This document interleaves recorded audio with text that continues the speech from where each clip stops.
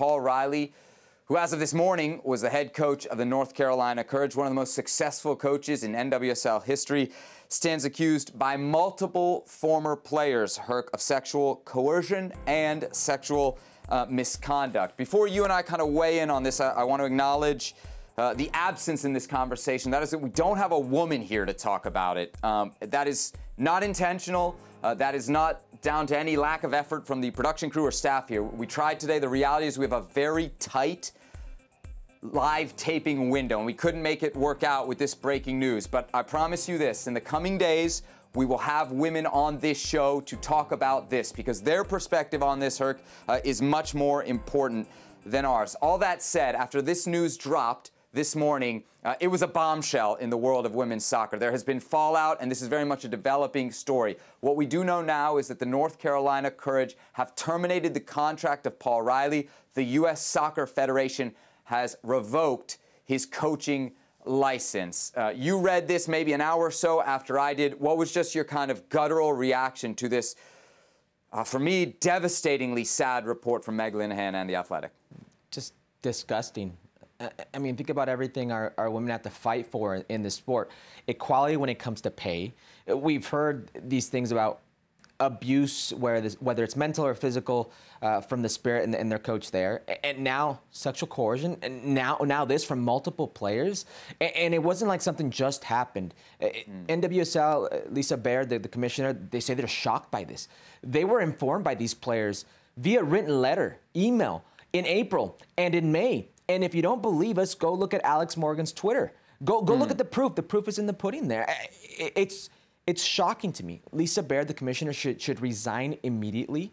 Uh, mm. Anybody involved, Gavin Wilkinson with the with the Portland Thorns and, and the Timbers, and, and anybody who has links to NWSL or, or anything going on, U.S. soccer, uh, this happened on their watch. It, it's disgusting. I agree with you. I, I wish we had a woman on to really sharing this story with us to do it justice. We're going to do our best, but this is shocking. It's appalling. Mm. Yeah, so um, I've known Meg Linehan for a while. I followed her reporting for a long time. I trust her reporting, her um, down to the grammar. But beyond that, I think it's super important for us to say, as two dudes on this show, uh, we believe women. That is the stance of Futbol Americas. That will be our default stance in any situation like this moving forward. I do not feel as comfortable, Herc, saying the same about Paul Riley, who did respond to these allegations and denied them, but chose not to do so in an interview with Meg Linehan, instead responding via email. For me, Herc, for something this serious, that is simply unacceptable. I do not see a future in which Paul Riley will be managing again in the women's game or, frankly, in American soccer. I'm not a legal expert. I do not know if what Paul Riley did was illegal, but I know it was immoral, Herc. And I know that you know that I coach. So, as a coach, these are lines you cannot cross. And when you do, there is no coming back. And I think everyone in American soccer that gave Paul Riley a second chance or a third chance has to look at themselves real harsh right now in the mirror and ask themselves what they were doing. As far as what you mentioned about NWSL's, not necessarily role, but the response, um, a couple things there. Lisa Baird chose not to comment to Meg Linehan in The Athletic. In the response to one of the alleged victims, who was warning her of this behavior, alleged behavior by Paul Riley, the response from Lisa Baird, the commissioner, quote, Thank you again for your email. I wish you the best.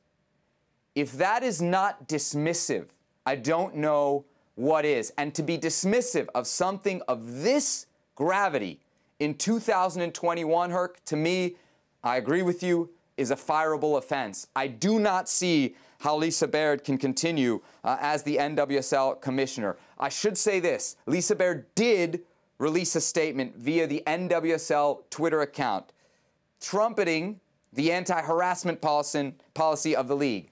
Alex Morgan, as you mentioned, took exception. Perhaps more pointedly, Megan Rapinoe called the statement beyond disrespectful. I think we're in agreement here, right? Just not good enough from the NWSL, just not good enough from their commissioner. Their commissioner, even U.S. Soccer, a stronger stance here. I know there's an mm. ongoing investigation, but how do these people come into positions of power? How aren't they vetted? Eh, why is it that these male figures have more prominence in the women's game than the women do? Eh, I don't know. Yeah, yeah. Uh, so for sure, this is something we will keep an eye on.